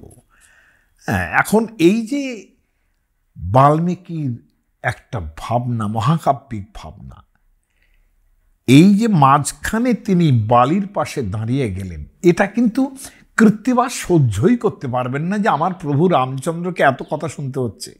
তার একটু, তার বয়ানটা একটু শুনি। খুব আনন্দ লাগবে। তিনি তো ভক্ত মানুষ। আমি ভুল করে কৃত্তিবাস বলছি মানে তুলসীদাস আর কি। তুলসীদাস গোস্বামী যে সারা ভারতবর্ষে এবং নর্থ ইন্ডিয়া তো বিশেষ করে। তিনি লিখছেন, বহু ছালা বলা সুগ্রীব কর হিয় হারা ভয়মানি, মারা বালি রাম তব হৃদয় মাঝ সর পানি। মানে বালির মৃত্যুটা দেখাচ্ছেন যে একটা স্বরেই রামচন্দ্র রামচন্দ্রের একটা স্বরেই বালি মারা গেলেন। পরা বিফল বিকল মহি সরকে লাগে। স্বর মানে দন্ত, স বলছেন এখানে, তালব্য মানে স্বর আর কি। স্বর লাগতেই তিনি ভূমিতে, অর্থাৎ মহিতে পড়ে গেলেন। পরা বিকল মহি সরকে লাগে। পুনি উঠি বৈঠ, দেখি প্রভু আগে। বলে স্বরে পড়ে গেলেন তিনি, আবার হট করে উঠে বসলেন। দেখি প্রভু আগে। তিনিও প্রভু রামচন্দ্রকে দেখছেন। শ্যাম গাত স্থির জটা বনায়, তার শ্যামতনু হ্যাঁ দুর্বাদল শ্যামতনু এবং শিরে জটা, অরুণ নয়ন সর চাপ চরায় এবং তার চক্ষু দুটি একটু লালচে ক্ষত্রিয়ের চোখ বলে কথা। সর চাপ আর হাতে ধনুর্বান পুনি পুনি চিতই চরণ চিত দিনহা। তিনি সঙ্গে সঙ্গে একদম দেখে তার পায়ে লেগে গেলেন, পায়ে পড়ে গেলেন। সুফলা জন্ম মানা প্রভু চিহ্না তিনি প্রভুকে চিনতে পারলেন, প্রভু রামচন্দ্র তিনি হ্যাঁ? তাকে চিনতে পারলেন ভগবান বলে। হৃদয় প্রীতি মুখ বচন কঠোরা। কি করলেন তিনি? বাল্মীকিকে পুরো এড়াতে পারলেন না। যে হৃদয়ে খুব প্রীতি তার, যে আমার প্রভুর সঙ্গে দেখা হয়েছে। হ্যাঁ? কিন্তু বচনা কঠোরা একটু কঠোর করে বললেন, বলা, চিতই রাম কি ওরা? একটু একটু রামের দিকে তাকিয়ে একটুখানি কঠিন কথা বললেন। কি বললেন? ধর্ম হেতু আবার তরেহু গোসাই। আপনি ধর্মের জন্যে আপনি এই পৃথিবীতে জন্মগ্রহণ করেছেন। মারেহু মহি ব্যাধ কি নাই? আপনি ব্যাধের মতো আমাকে, ব্যাধা কি নাই? মানে ব্যাধের মতো, নাই মানে মতো। এই ন দিয়ে একটা উপমাবাচক যে শব্দ, এটা সংস্কৃতে একদম জাসকে আছে। আর একজন দেখবেন যে আপনি বাঙাল ভাষায়, এ মানুষের ন্যাগাল লাগে। ন্যাগাল মানে কিন্তু মতো। এই যে ন দিয়ে করাটা, এটা দেখার জিনিস। এটা এটা বেশ একটা বৈয়াকরণ ভাবনা হতে পারে এটা নিয়ে। ময়ে বৈরি সুগ্রীবা পিয়ারা, একটু অভিমান করে বলছেন, আমি শত্রু বনে গেলাম, আর সুগ্রীবা পিয়ারা, আর সুগ্রীব আপনার অত্যন্ত প্যারের লোক হয়ে গেল। অবগুণ কবন নাথ মহিমারা, আর আমার অবগুণটা, খারাপ গুণটা কোথায়? যে নাথ, আপনি আমাকে মারলেন অনুজ বধু রামচন্দ্র বলছেন, যুক্তি বাবা, অনুজ বধু ভগিনী সুত নারী সোনু সাঠা কন্যা সময় চারি। বলছেন, নিজের মানে অনুজ, ছোট ভাই, বধূ, তিনি ভগিনীর মতো। হ্যাঁ? এবং এই যে অনুজ, বধূ মানে অর্থাৎ মানে ছোট ভাই, ছোট ভাইয়ের স্ত্রী এবং পুত্রের স্ত্রী এবং কন্যা এরা চার সমান একেবারে। নিজের মেয়ে এবং এরা সবার সমান, এবং পুত্র, এরা সমান, চারজন সমান একেবারে। আর তুমি কি করলে? তুমি ওই যে রুমার হরণের কথা মানে রুমাকে তুমি ভোগ করেছে এইটা। শুনু, এই সব ইনহি কুদৃষ্টি বিলোকই জয়ী। এদের প্রতি যে কুদৃষ্টি দেয়, তাহি বধে কিছু পাপ না হই। আমি তাকে বধ করেছি, আমার কোনো পাপ হয়নি। মূঢ় তহি অতি ভয় অতিশয় অভিমানা। এইবার আমি একটু বলতে চাই। হ্যাঁ বলছেন কি? রামচন্দ্র বলছেন, মূঢ় তহি অতিশয় অভিমানা। তুই বড্ড মূর এবং অতিশয় অভিমানী অহংকারী লোক তুমি। নারী শেখাওয়ত করসি না কানা। নারী শেখাওয়ত। তোমার স্ত্রী তারা তোমাকে বারণ করেছেন। করসি না কানা। আর তুমি সেটা কানে শুনলে না। তোমার স্ত্রী তারা বারণ করেছেন। রামচন্দ্রের স্ত্রী সীতাও কিন্তু অস্ত্র ধারণ করতে বারণ করেছিলেন বনে এক সময়। বলেছিলেন যে মুনি বল, মুনি ঋষিরা বলছেন, তুমি এই অস্ত্র ত্যাগ করো, তুমি অস্ত্র নিয়ে ঘুরো না। অস্ত্রের সঙ্গে থাকলে অস্ত্রের প্রতি আসক্তি হয়। বলেছিলেন কিন্তু। রামচন্দ্র কিন্তু শোনেননি সেটা। হ্যাঁ? কিন্তু এখন তিনি উপদেশ দিচ্ছেন যে তোমার স্ত্রী তোমাকে বলল, সেটা শুনলে না? মম ভুজবল আশ্রিততেহি জানি। তিনি বলেছিলেন তোমাকে যে এই সুগ্রীব আমার ভুজবলের আশ্রিত। মারা চেহাসি অধম অভিমানী। তোমাকে আমি সেই জন্যে মেরেছি। শোনহ রাম স্বামী, ব্যাস বাল্মীকি বালি বলতে আরম্ভ করলেন, একেবারে নিচু হয়ে, খুব গদগদ হয়ে সব যুক্তি বেনে নিলেন রামচন্দ্রে। এবং বললেন যে আপনি চরণে স্থান দিন, আমার অঙ্গদকে আপনি একটু দেখবেন। এ কথা বাল্মীকি অত সহজে বলতে পারেননি। বাল্মীকির ব্যাপারে এখানে পরপর পরপর যে যেভাবে চলেছে, সেটা সেটা পরপর আমি তো আপনাদের খানিকটা শুনেছি, আর দীর্ঘ করব না। বালি কথাও বাড়াননি, এবং একটা ব্যাপার রামচন্দ্র যখন এই রকমভাবে অযৌক্তিক কথা বললেন, কিন্তু হ্যাঁ তিনি হাসতেও পারছেন না যে ইক্ষাকুনাং ইয়ং ভূমি সশৈল বনকাননা কারণ তিনি মারা গে যাচ্ছেন প্রায়। আস্তে আস্তে তার শরীর নিষ্প্রভ হয়ে আসছে। গলায় কাঞ্চনী মালা। এখন তৎসত্ত্বেও এখন রাজধর্মের যে ব্যাপারে, তিনি কতটা রুচিসম্পন্ন ব্যক্তি যে রুমার কথা রামচন্দ্র উচ্চারণ করলেন, তুমি স্ত্রীর সুগ্রীবের স্ত্রীকে হরণ করেছ।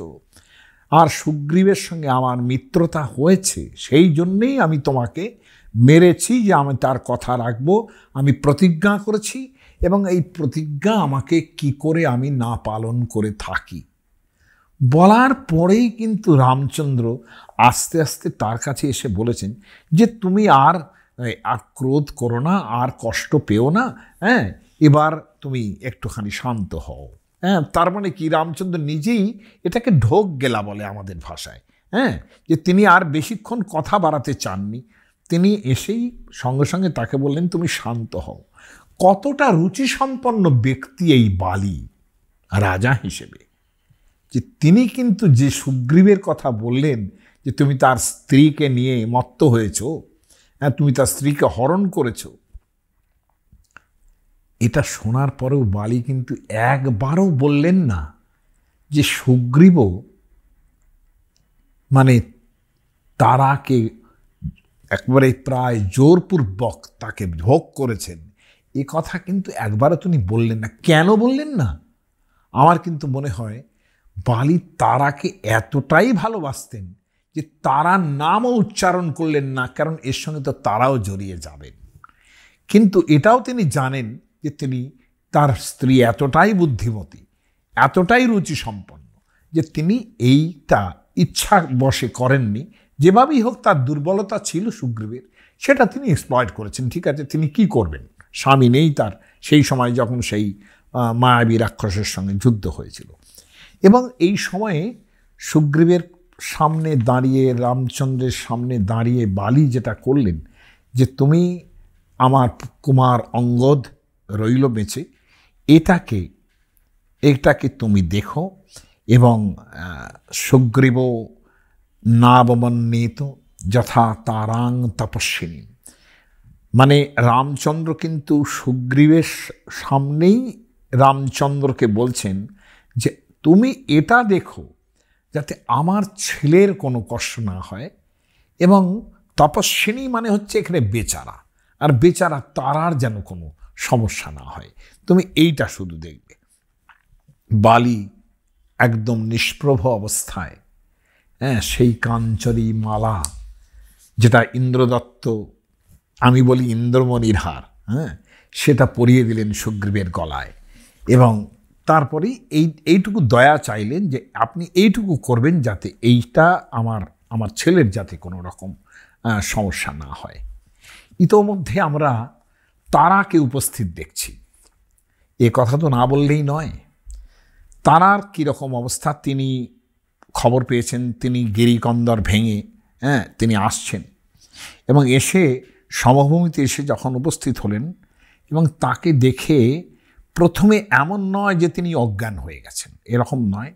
নিষ্পপাত ভৃসং তস্মাদ উদ্বিগ্না গিরিকন্দরাত।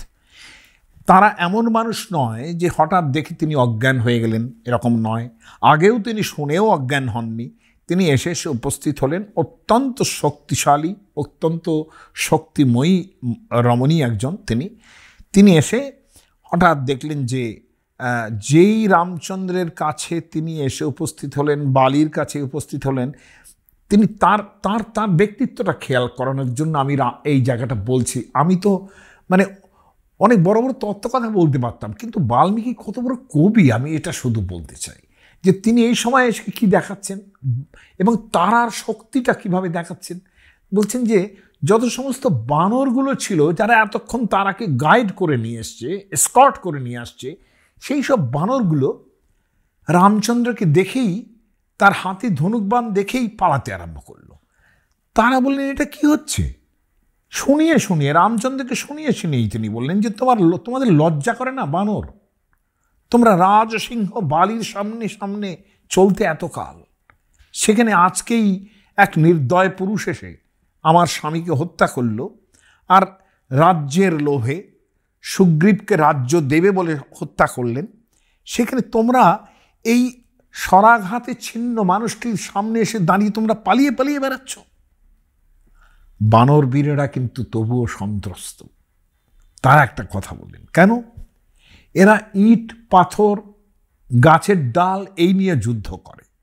অস্ত্র ব্যবহারে মধ্যে যে লোহার কারিগরি, আমি আরেকবার বলছি সোশ্যালি এই জায়গাটা ভাবতে বলছি।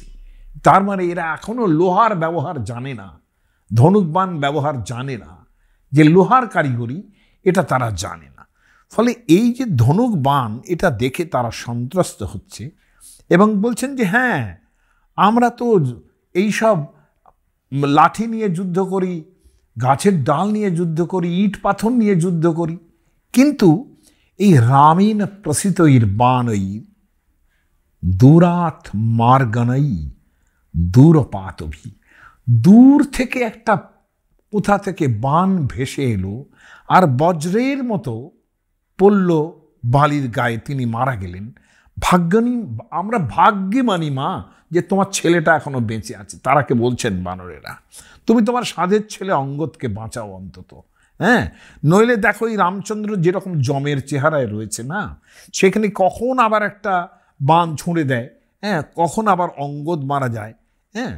বালি বজ্র সময়ের বান এই বজ্রে নেই বনি পাতিতা এখানে বাজ পড়েছে বালির মাথায়। এইরকমভাবে একটা বান দিয়ে মেরে ফেললেন তিনি।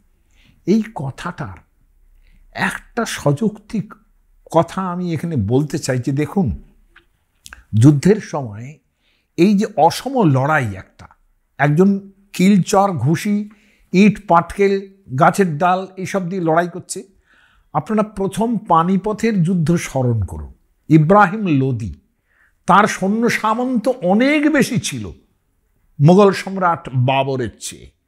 কিন্তু বাবরের পাঁচ, ছটা কামান থেকে বাবর বাবর নামায় নিজে লিখেছেন যে তার পাঁচ, ছটা কামান থেকে যে গোলা বারুদের ব্যবহার, এই যে নতুন একটা প্রোডাক্ট বারুদের ব্যবহার হলো। এই বারুদের ব্যবহার এমন হলো যে ইব্রাহিম লোদির সেনা সৈন্য যখন পালাতে যাচ্ছে, তখন তাদের নিজেদের হাতি যেগুলো ছিল, সেই হাতির চাপা খেয়ে অর্ধেক সৈন্য মারা গেছে। এই বারুদের ব্যবহার এরকম জিনিস। মানে নতুন যে অস্ত্র প্রোডাক্ট ব্যবহার, এমন জিনিস। পৃথিবীতে এখনও পর্যন্ত সেই কিন্তু একজনের বিরুদ্ধে আর একজন নতুন অস্ত্রের প্রোডাক্ট তৈরি করে চলেছে, সর্বত্র। এটাই সর্বত্র হয় এবং যুদ্ধ জয়ের সেটাই বোধহয় একটা রাস্তা হয়ে দাঁড়ায়। সেখানে এই যে নতুন প্রোডাক্ট তাকে দেখে পূর্বের যারা আছেন, তারা একটু ভয় পেতেই থাকেন। আমরা এইখানে আর একটু বেশি দেরি করব না।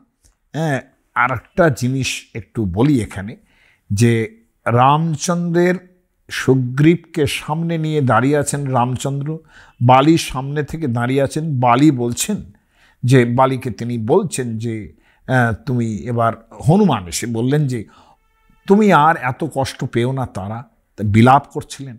বিলাপের মধ্যে একটা অসামান্য শ্লোক আছে, সেই শ্লোকটা আমি না বলে পারি না। এও আমার শ্রদ্ধেয় গুরুমশায় ভবানীচরণ মুখোপাধ্যায়ের কাছে শোনা। তিনি ব্যাকরণের নিমিত্তার্থে চতুর্থীর একটা উদাহরণ দিচ্ছিলেন। ব্যাকরণের হ্যাঁ সেটা ব্যাকরণের একটা কেস এন্ডিং হয় না, বিভক্তি নির্ণয় হয় না। জেনারেলি নিমিত্তার্থে সপ্তমী হয়। সংস্কৃতে আছে চর্মণী দীপিনং হন্তি হ্যাঁ কুঞ্জয়র হন দন্তয়র হন্তি কুঞ্জরম বলছেন যে সবসময় নিমিত্তার্থে সপ্তমী হয়। চর্মণী দীপিনং হন্তি, চামড়ার জন্যে বাঘ মারে। হ্যাঁ দন্তয়র হন্তি কুঞ্জরম চামড়া দাঁত পাওয়ার জন্যে হাতি মারে। এরকম ধরনের আমি এত ডিটেলসে যাচ্ছি না। কিন্তু একটা উদাহরণ দিচ্ছে, আমার গুরু বলেছিলেন যে, দেখো, আমি তো সামান্য উদাহরণ দিতে পারি যে, বালক ফলায় বনং জাতি। বালক ফলের জন্য বন যা অর্থাৎ ফলগুলো আহরণ করার জন্যে, ফল পাবার জন্যে বনে যাচ্ছে। এটা নিমিত্তে চতুর্থী হতে পারে। কিন্তু আমি তোমাকে একটা ভালো উদাহরণ বলি। সেই শিখেছিলাম শ্লোকটা। কোথায় যে আছে সে শ্লোক আমি জানি না। কিন্তু সেটা বালিপত্নী তারার মুখোচ্চারিত কোনো শ্লোক। সেখানে বলছেন, কি অসামান্য সেই সব মাস্টারমশাইরা ছিলেন? হ্যাঁ তিনি বলেছিলেন যে, মুক্তা ফলায় করিনাম মুক্তা ফলায় করিনাম হরিণং পলায় সিংহং নিহন্তি ভুজ বিক্রম সূচনায়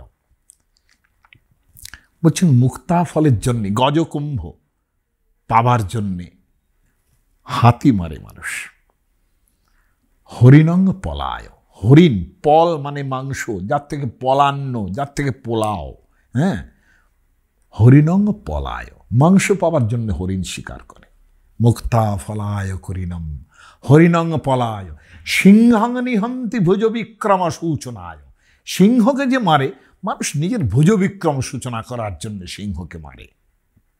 এবার বলছেন তারা, কানীতি রীতি রঘুবংশ বীর কানীতি কোন নীতি এখানে আছে? হে রঘুবংশের বীর, শাখামৃগে ভবতি যস্তবান মোক্ষ শাখামৃগ মানে হচ্ছে বানর, যারা শাখায়, বৃক্ষ শাখায় ঘুরে বেড়ায়। শাখামৃগে তোমার এই বান মুক্তি হলো, এটা কি করে হয়?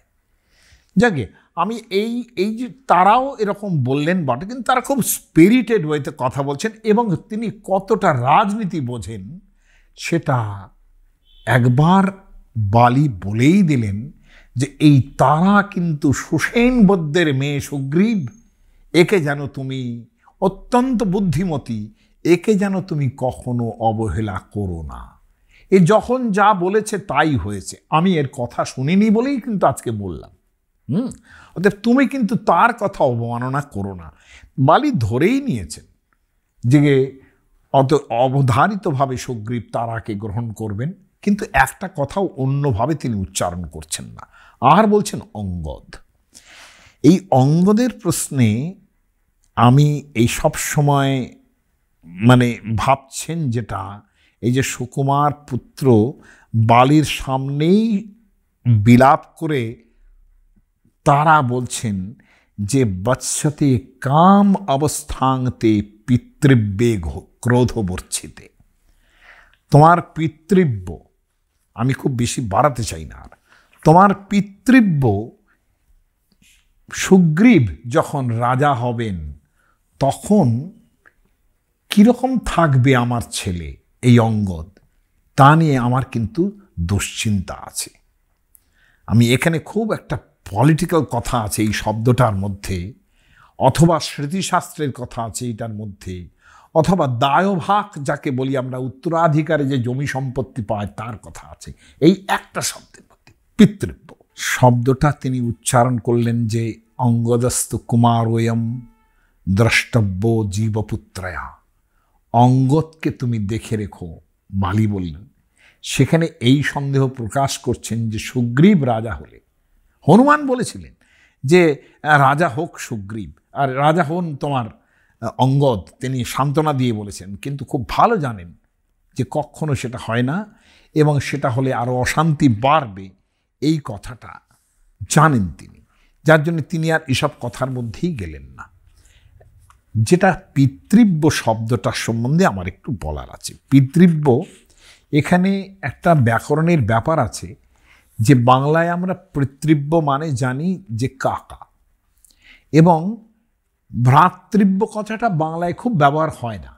ভাতৃব্য মানে নেফিউ অর্থাৎ ভাইয়ের ছেলে। প্রাচীনতম উত্তরাধিকারের যে আইন, অর্থাৎ দায়ভাগ যেখানে, সেখানে এই যে পানিনি যেটা সূত্র করছেন, পানিনি পিতৃ শব্দের সঙ্গে যখন ব্যাত প্রত্যয় লাগাচ্ছেন প্রত্যয় লাগাচ্ছেন, বলছেন বতি সপত্নে। সপত্ন মানে হচ্ছে শত্রু। কি অদ্ভুত আমাদের শব্দ খেয়াল করার দরকার। বলছেন যে ভাই মানে কাকা কাকা মানে ভ্রাতৃবতী। বতী, এই প্রত্যয়টা কিসে? স্বপত্নে স্বপত্ন মানে শত্রু। যার থেকে স্ত্রীলিঙ্গে স্বপত্নী সতীন হ্যাঁ? স্বপত্ন মানে শত্রু। প্রত্যয় একটা কেন?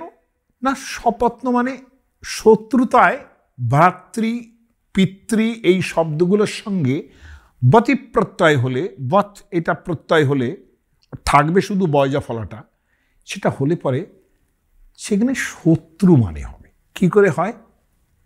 এইখানে সমস্ত যারা যারা স্মৃতিশাস্ত্রকার, যারা উত্তরাধিকারের আইন নিয়ে চিন্তা করেছেন, তারা বলছেন যে মানুষের যেটা শত্রু হয়, জমি জমার ক্ষেত্রে যে শত্রু হয়, পিতৃব্য মানে হচ্ছে সহজ শত্রু। সহজ শত্রু মানে যে মায়ের পেটের শত্রু একেবারে। মানে কি করে? বাপ ধরুন মারা গেছে, তার চার ছেলে। বড় ছেলে তো একাই জমি পাবে না। আগে ছিল নিয়ম, বড় ছেলেই জমি পাবে। কিন্তু আর যে তিন ভাই, এই তিন ভাই কিন্তু শত্রু রয়ে গেল। অর্থাৎ বড় ভাই যদি মারা যান, তখন তারই ছেলে রাজা হবে হবে না। তখন কিন্তু জমির ভাগ আসবে ওই তিন ভাইয়ের মধ্যে। তার মধ্যে আবার যে বড়, সে ধরা যাক সে জমি পাবে। কিন্তু তা নয়। উত্তরাধিকারের আইনে এই চারজনই সমানভাবে সম্পত্তির অধিকারী। ফলত পিতৃব্য মানে আমার কাকা যিনি, আমার বাবার সঙ্গে যিনি কাকা, তিনি কিন্তু, আমার বাবারই কিন্তু সহজ শত্রু। সহজ মানে সহ সঙ্গেই জন্মাচ্ছে, অর্থাৎ মায়ের পেটেই যে জন্মাচ্ছে, সে যত ভালো হোক, যত ভালো মন্দ হোক, সেটা অন্য কথা। ভালোবাসা যত থাকুক, জমির আইনে কিন্তু সে সহজ শত্রু সে জমির ভাগ পাবে। ভ্রাতৃব্যও তাই। হ্যাঁ নেফিউ যে, এখন একজন মারা গেল, আমি, আমার, ধরা যাক, আমি বেঁচে আছি, আমার ছেলে রাজ্য পেল। হ্যাঁ এখানে আমার ভাইয়ের ছেলে যে রয়েছে, তার কিন্তু ভাগ আসবে। ভ্রাতৃব্য অর্থাৎ এই যে সমস্যাটা, এইখানে এই ভাতৃব্য, পিতৃব্য শব্দটা ব্যবহার করে তারা বুঝিয়ে দিলেন, পিতৃব্য শব্দটা ব্যবহার করে যে আমি চাই সুগ্রীবী রাজা হন এবং অঙ্গদ সেখানে থাকুক, যুবরাজ হয়েই থাকুক বা যেভাবেই থাকুক, তিনি তাকে পরিচালনা করুন। আমি কখনো চাইব না যে তোমার পিতৃব্য রাজা হবেন না। আর তুমি রাজা হবে। হনুমানকে বলেছেন এই কথা। হনুমান অনেক সান্ত্বনা দিয়ে বলেছিলেন যে, তুমি অঙ্গদকে রাজা করো। তারা কিন্তু সেটা মানলেন না এবং এই না মেনে যেটা করলেন, একেবারে সোজাসুজি রামচন্দ্রের সামনে এবং বালির সামনে তার পরবর্তীকালের প্রতিষ্ঠাটুকু তিনি বলে গেলেন। তবু বলব যে তারা সেই রকমভাবে কথা শোনালেন না রামচন্দ্রকে, যতখানি তিনি বলতে পারতেন। কেন? অঙ্গদকে রক্ষা করতে অত্যন্ত বুদ্ধিমতী মহিলা। এমন একটা সিচুয়েশন তার পড়েছে যে তার অতি প্রিয় স্বামী তিনি মারা গেছেন এবং অবধারিতভাবে বালিকেই তিনি সবচেয়ে বেশি ভালোবাসতেন। হ্যাঁ সেই অবস্থায় তার অতি প্রিয় স্বামী মারা গেছেন। অঙ্গদের ব্যবস্থা কি হবে তা নিয়ে তিনি সোজাসুজি কথা বলেছেন এবং অতিরিক্ত কথা রামচন্দ্রকে তিনি শোনাননি। এবং রামচন্দ্র অতিরিক্ত পরিমাণ অপ্রতিভ অপ্রতিভ হয়েই ছিলেন। বালির কথা শুনেই যথেষ্ট অপ্রতিভ। অতএব এখন তার আর কিছু বলার কোনো প্রয়োজনই ছিল না।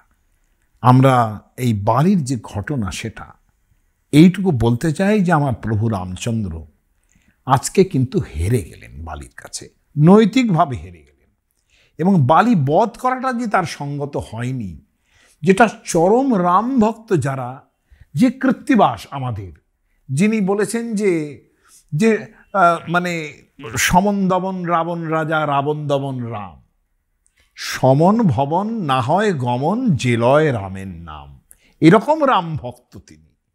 তিনিই বলছেন, যখন বালিবধের প্রসঙ্গ শেষ হলো, তিনি বলছেন, কৃত্তিবাস পণ্ডিতের ঘটিল বিষাদ। কৃত্তিবাস পণ্ডিতের আজকে বড় বিষাদ ঘটল। কেন? বালিবধ করি রাম ঘটালে প্রমাদ। আজকে বালিবধ করে রামচন্দ্র প্রমাদ ঘটিয়ে দিয়েছেন। আর এবার আমার প্রভু রামচন্দ্রের কথা, তার লীলার ভাবনার কথা এবার যদি বলি, তাহলে আমাকে চৈতন্য ভাগবতের কথা স্মরণ করতে হবে। সেখানে বড় অদ্ভুত কথা বলছেন বৃন্দাবন দাস। বৃন্দাবন দাস বলছেন যে, দেখো মধ্যযুগের কবি, বৈষ্ণব কবি রামচন্দ্রের প্রতি তার অকুল আস্থা, তিনি অবতার প্রমাণ পুরুষ। তিনি সবসময় ভক্তবৎসল কৃপামূর্তিতেই দেখেন তাকে। ফলত তিনি বলছেন যেটা, সেটা খুব যুক্তিসঙ্গত কথা যে রামচন্দ্র বালিকে বধ করলেন, তিনি দোষ টোষ দেখলেন না। তিনি বললেন মানে তুলসীদাস যেভাবে বলেছেন, তার থেকে সেটা বেশ ব্লেটার্ন ছিল। কিন্তু চৈতন্য ভাগবতকার বৃন্দাবন দাস অদ্ভুত একটা সমস্যার সমাধান দিয়ে বলেছেন যে দেখো, অকর্তব্য করে প্রভু সেবকে রাখিতে। আমার প্রভু যিনি, তিনি সেবক অর্থাৎ ভক্তকে, সুগ্রীবের সঙ্গে তার মিত্রতা হয়েছে, অতএব ভক্তকে বাঁচানোর জন্য তিনি অকর্তব্যও করেন, অকর্তব্য করে প্রভু সেবকে রাখিতে। তার সাক্ষী বালিবধ সুগ্রীব নিমিত্তে। তো সেই জন্যই তার প্রমাণ হলো যে প্রভু কখনো কখনো ভক্তের জন্য অকর্তব্যও করেন। তার সাক্ষী বালিবধ সুগ্রীব নিমিত্তে। আজকে এই পর্যন্তই, একটু বড় হয়ে গেল, আর কি করব?